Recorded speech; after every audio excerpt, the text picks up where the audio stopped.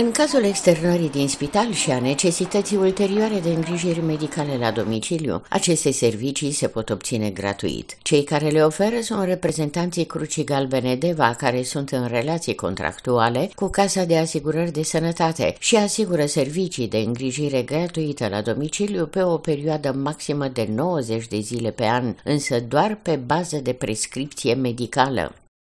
Poți să beneficiezi, Pot să beneficiez de... de 90 de zile de tratament medical gratuit, adică de contat de Casa de Sănătate la domiciliu.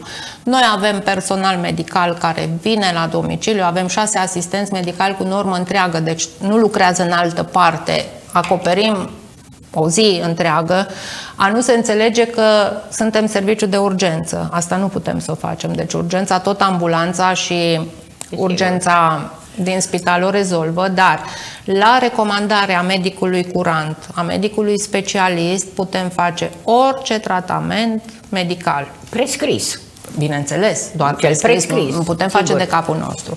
Dacă medicii noștri merg și consultă și prescriu tot prescripție medicală este și putem să facem, dar noi ca și asistenți medicali nu putem să facem după ureche sau că ne spune pacientul că aș vrea și eu să fac nu știu ce, nu.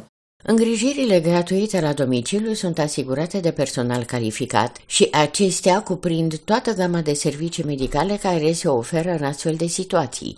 La recomandarea medicală se pot face la domiciliu orice fel de tratamente. Avem personal calificat care vin și recoltează la domiciliu, fac injecții, fac perfuzii, fac pansamente, fac sondaj vezical, fac clisme, fac tot ce se poate face la domiciliu.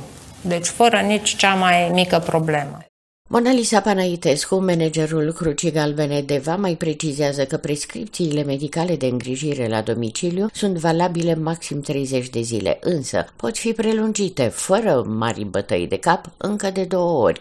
Aprobările se dau în uh, tranșe de câte 30 de zile, deci mai mult de 30 de zile nu poți obții deodată. E, mi se pare în regulă, Corect, pentru da. că în 30 de zile nu pot. Chiar dacă e un pacient cu boală cronică, poate să moară în 30 de zile sau Na, noi oricum asta le raportăm și reinternări și așa, dar uh, în calupuri de câte 30 de zile, nu cred că pentru un aparținător e chiar așa un efort să facă un drum la medicul de familie și de acolo la casa de sănătate o dată pe lună ca să beneficieze de o lună de liniște o lună și de liniște. De...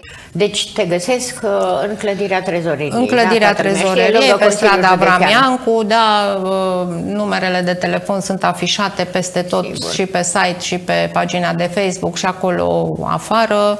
Îi așteptăm cu orice problemă au și ne străduim să le fim la dispoziție și să-i ajutăm cu ce, cu ce se poate, cu tot ce putem.